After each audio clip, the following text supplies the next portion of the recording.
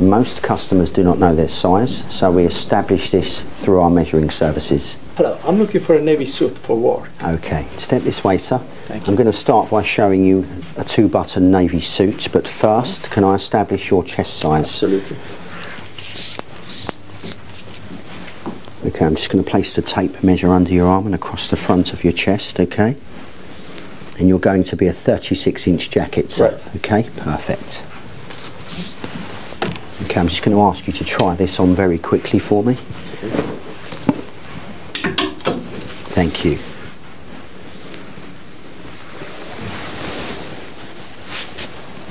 Perfect. Okay, if I can just ask you to stand square and face the mirror, sir.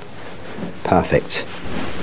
Okay, we're looking for three or four key things when fitting the suit. Firstly, we should have half an inch excess in the front of the suit. That allows you to see the curvature of the jacket and the silhouette. If the jacket were pulling across the centre button, it would be an indication of the jacket being too small. And if the space in the front was bigger than half an inch, then you would have a jacket that, that looked more square and unstructured, okay? So the half an inch enables you to see the curvature here. Secondly, we're looking at the lapel. It should lie nice and flat. And if it were bowing, it would be an indication that it isn't accommodating the chest properly. Okay. The shoulder should have a quarter of an inch only, and the shoulder seam should sit in the correct place. Any more than that, then the shoulder starts to collapse when wearing. Okay. With regards to the cuff, you should have the jacket sitting where the hand meets the wrist and having the uh, thumb line open at all times, okay? Now, establishing the correct length for you as we do three jacket lengths, sir, Right. we're looking to use the rule of thumb. You extend your arm and the thumb, and the jacket should meet at the tip of the thumb, which is an indication that you're in the co- correct length. Now, sometimes the arm length um, challenges this whole fitting. So if you turn around to the side, sitting where the vents are, the jacket should sit where the buttock line stops and the upper leg starts to drop, okay? Can just have you face the mirror. Excellent. Okay, I'm just going to remove the jacket for you, sir. When establishing waist size, we use the six inch drop, which is subtracting six inches from the chest, giving you the trouser waist size. Once the waist has been established, our trousers are unfinished, so we pin them, measure them, finalising the fitting. Thank you, sir. Thank you. Okay, I'd like you to just stand square facing the mirror for me, please. Now we're about to establish your waist size. We're looking for a half an inch excess with the waist, or alternatively, inserting three fingers is a way of depicting the right size, okay? I'm just going to give you a belt, sir. There we are, if you pop that on. You're currently in a 30 inch waist trouser. Now, as the jacket was a 36 chest, suiting works on a 6 drop. So if you subtract the 6, it gives you the appropriate waist size, okay? Perfect. Now once you fasten the belt, I need you to ensure that the trouser height is correct as we're about to amend the length for you. Does that feel comfortable? Absolutely. Perfect. Okay, just remain square standing, sir.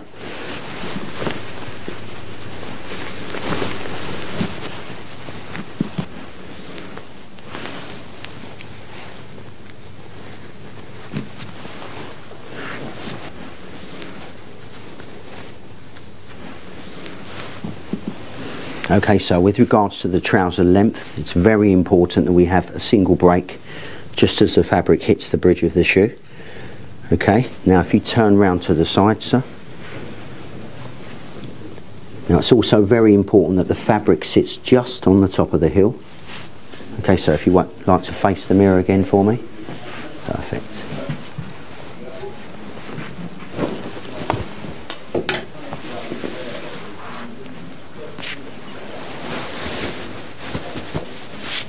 Okay.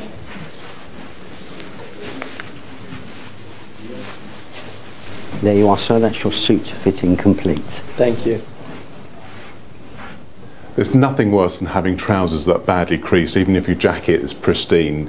Uh, having scruffy trousers is going to make you look completely dishevelled. It's really easy and simple to press your trousers. A lot of people are scared of it because they think that they're going to put some shine in. But the thing to remember is that we iron shirts, but we press trousers, and it's that pressing motion that's the important part uh, to avoid the shine. If you've got caught in the rain, for instance, and your trousers have completely lost their uh, crease, uh, we'll need to find out where to put that crease back in. So first thing to do is to lay your trousers on a good sized ironing board and you'll need a good uh, steam iron just as we did with shirts with, with quite a, a punch of steam. And the first thing to do is to find the centre crease in the front. And to do that we need to match up the seams the inseams lay them on top of each other and that gives you the position for the crease. Just mark that in at the bottom and then we'll go to the top. We need to get inside the trouser and find the seams at the top. Just match those up.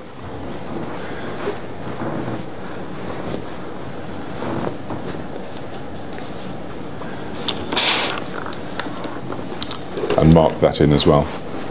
Now, if you've got a flat front trouser, you need to stop the crease about six inches, that's about 18 centimetres from the waistband. But if you've got a pleated trouser, um, you'll find that you can run the, pleat, the crease right into the pleat. And if you've got two pleats on the trouser, it will always be the first pleat. But these are flat fronted trousers, so we're going to stop the crease about six inches before the waistband.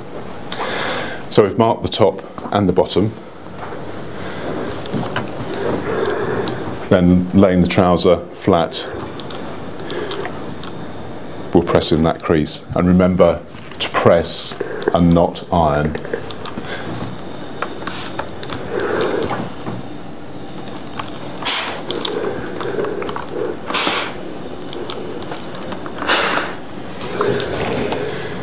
And when we get to the top,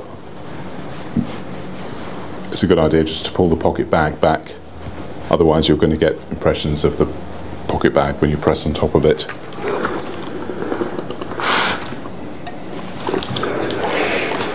We always set the front crease first. Because once that's in position, then we can lay the trouser flat and press in the back crease.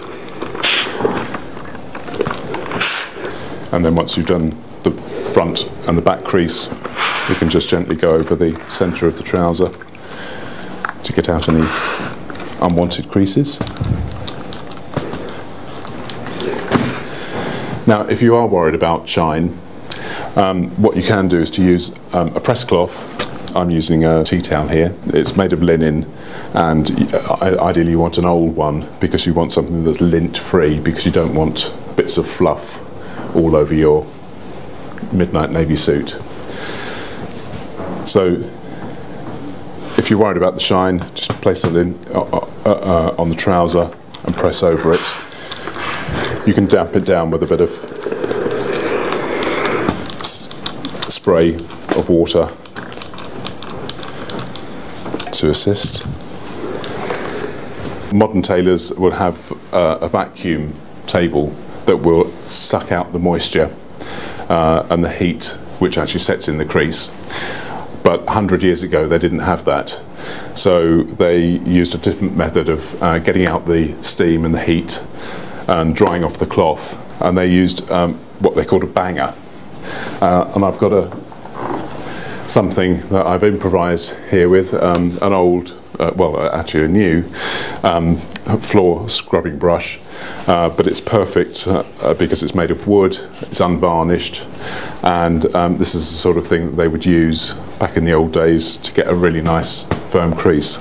And what we do, give it a bit of steam, and then to get, get the sharp crease, we'll bang it in, hold it down, and that knocks out the steam and gives you a really sharp crease. So once you've done both sides, you need to hang it up for a, a few hours to let the um, moisture dry out of the trousers, uh, and then they're ready to wear.